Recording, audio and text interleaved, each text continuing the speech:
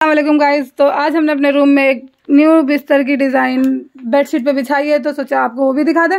बहुत ही खूबसूरत है ये। देखिए, सबसे पहले हमारे रूम का आज हमने कवर बदला है तो एक ये कवर बदला है सोफ़े का। तो कैसा लग रहा है कमेंट में ज़रूर बताइएगा। और ये हमारा टेबल है। डाइनिंग टेबल डाइनिंग टेबल है, ये दोनों सोफ़े की कुर्सी है।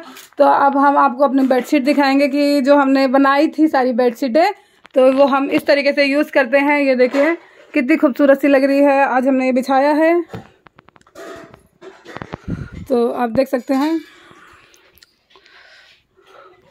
तो गाइज़ आप भी इसी तरीके की बेडशीट बना के हमारी तरह अपने शादी, हमारी तरह जैसे आपकी भी शादी हो गई है तो अपने घर में न्यू न्यू बेडशीट ऐसे बिछा सकते हैं। बहुत ही खूबसूरत और बहुत ही प्यारी सी लगती है।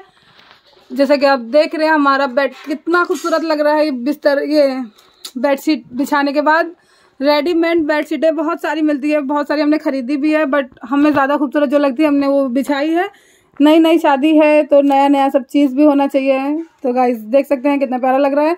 तो हम आपको जूम करके अपनी बेडशीट दिखा देते हैं। ये देखिए हमने इसमें अं-, अंदर जाल भरा है ऊपर ऊन ये सारा ऊन के ऊपर है। तो ये ऊन ठंडियों में ज़्यादा मिलता है गाँव में, यूपी में मतलब ऊन ज़्यादातर ठंडियों में मिलता है क्योंकि यहाँ ठंडक बहुत होती है तो बहुत से लोग स्वेटर बुनने के लिए लेते हैं तो हमने ये चादर बनाने के लिए लिया था।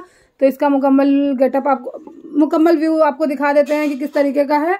तो गाइज़ जैसा भी लगेगा तो कमेंट में ज़रूर करें कि किस तरीके का लगा है, कैसा लगा है अच्छा लगा, बुरा लगा, जो भी लगा तो ज़रूर बताइएगा। तो ये सारी मेहनत हमने जो की थी शादी से पहले तो ये शादी के बाद ये इस तरीके की हम मेहनत करके बिछा रहे हैं।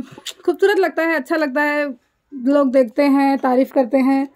तो अच्छा लगता है, सबको तारीफ़ अच्छी लगती है तो हमें भी तारीफ़ अच्छी लगती है। तो गाइज़ ये इस तरीके का है। बेडरूम हमने, अपना बेडरूम तो हमने आपको पहले दिखाई दिया है कि किस तरीके का हमारा बेडरूम है। अगर किसी को और अच्छा हम रोज़ जैसा डेकोरेट करते हैं, रोज़ जैसा सजाते हैं, रोज़ हम मतलब हफ़्ते में एक बार हम उसको बदलते हैं, तीन दिन पे चद्दर बदलते हैं।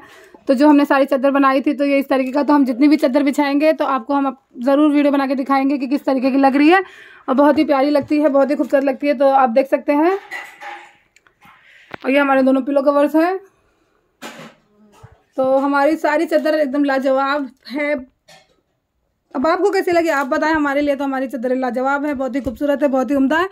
क्योंकि हमने बहुत ही मेहनत करके इसे बनाया था। हमने आपको, हमारे साथ आप बहुत टाइम से हैं।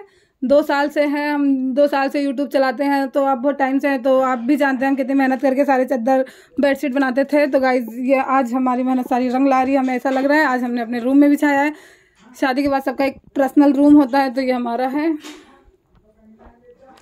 तो आज के लिए इतना ही, बाकी के नेक्स्ट वीडियो में अगर दूसरी चादर बिछाएँगे, दूसरा कुछ गेटअप करेंगे तो हम आपको इंशाल्लाह ज़रूर दिखाएँगे। तो आज के लिए इतना ही, बाकी के नेक्स्ट वीडियो में हम लेके आएँगे। अगर वीडियो पसंद आए तो लाइक शेयर सब्सक्राइब ज़रूर करें। और हमें सपोर्ट करते रहे, आपके सपोर्ट की हमें बहुत ज़्यादा ज़रूरत है, और वीडियो को पूरा मुकम्मल ज़रूर देखें। तो जब तक के लिए अल्लाह हाफिज़ गाइज़ दुआ में याद रखेगा।